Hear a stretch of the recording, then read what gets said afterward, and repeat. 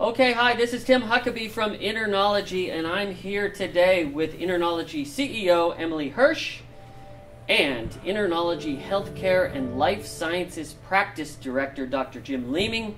He's also a practicing emergency physician.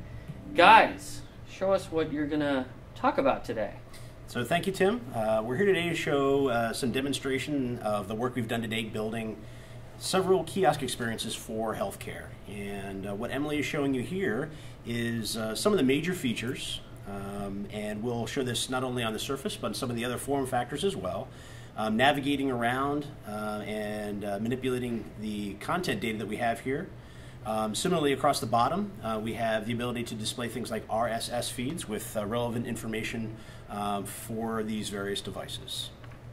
Right, so here's an example of something that you might see in the emergency room as people are waiting and if they want to get better educated on different pieces of information that are relevant to whatever they may be in there for.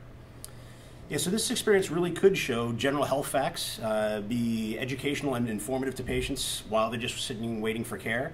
Could be in an emergency department waiting room, could be in a surgical waiting room, or just generally in a lobby of a hospital.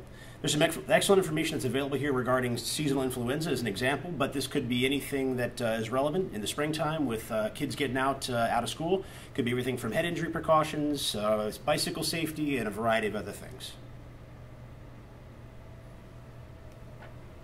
So now we're going to move on and take a look at the same kiosk environment on a Windows 7 touch-enabled device.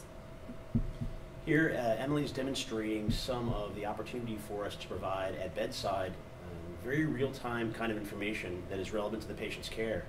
Everything from uh, procedures that are upcoming for them, uh, x-rays or surgical procedures if they're so scheduled, uh, prescriptions that they're taking with uh, a schedule of the medications to be given, or particular information telling about the medicines that they're being uh, given, a laboratory schedule when things are uh, meant for phlebotomy to come in and have done for them, and discharge planning, which uh, again is an element that's important and a lot of patients oftentimes miss a discharge. The opportunity she's showing here is in this upright large screen format. We also could um, demonstrate it here with similar information uh, that we described before, it's educational for the patients, um, that's available to them in a multi-touch tablet format here. That uh, again is uh, information that's important to them, uh, can be changed regularly to provide them updated information that uh, is either regarding their patient care or that is seasonally important. And again, we see the flu demonstration of things here. So now we're going to take a look at the Silverlight version of the mobile kiosk environment on a Windows Phone 7 device. We continue to build both for hard devices like the Surface and Windows 7 tablets as well as mobile devices such as the phone and iPad. All of this is made much simpler by self-hosting and self-managing the content in a SharePoint environment, which can also be hosted in the cloud, uh, making it simpler to update content across the entire platform. This mobile solution allows for the same content that could be delivered to the priorly demonstrated devices over a mobile environment specific to the provider. Uh, has patient demographic information, vital signs, laboratory work, radiology, all in a simple handheld format.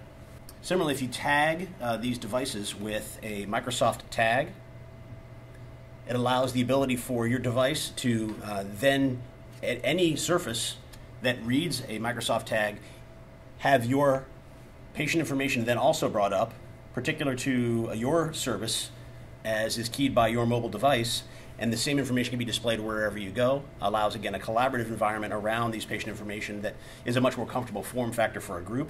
And when you walk away, all your information is secured.